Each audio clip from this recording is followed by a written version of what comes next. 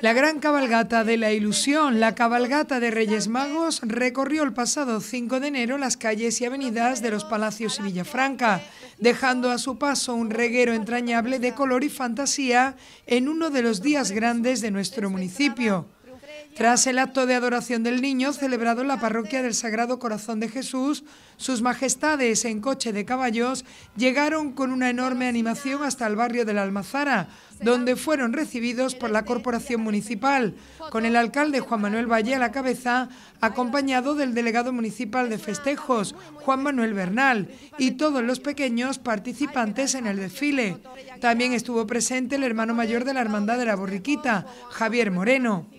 Un enorme cortejo de 15 carrozas, pasacalles, varias charangas y batucadas, además de la agrupación musical Santa María la Blanca, hizo las delicias de pequeños y mayores que salieron masivamente a su encuentro desde primera hora. El cortejo partió en este año 2024 desde la capilla de Nuestra Señora de los Ángeles, en la Plaza de la Almazara, para conmemorar precisamente el 50 aniversario de la Hermandad de la Borriquita. Se cumplía así la tradición de modificar el itinerario de la cabalgata cada año, con el fin de que llegue a todos los rincones posibles del núcleo urbano. Sus majestades, los magos de Oriente palaciegos, han sido encarnados este 2024 por Jaime Juan López Gómez como rey Melchor, Juan José Parejo Curado como rey Gaspar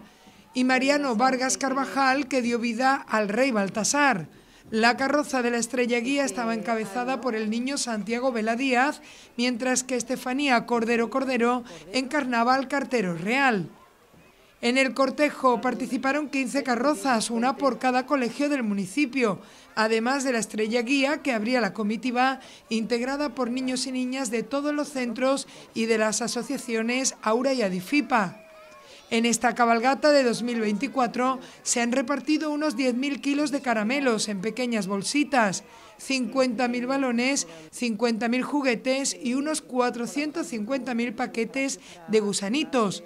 El evento organizado por la Delegación Municipal de Festejos y Turismo moviliza cada año a centenares de personas en su comitiva y ha contado con la implicación de prácticamente todas las delegaciones municipales, así como de las fuerzas de seguridad, profesionales sanitarios y protección civil. En definitiva, un amplio dispositivo puesto en marcha para la cabalgata con el objetivo de garantizar la seguridad del cortejo y de los asistentes, así como la limpieza de calles y avenidas tras el paso del mismo.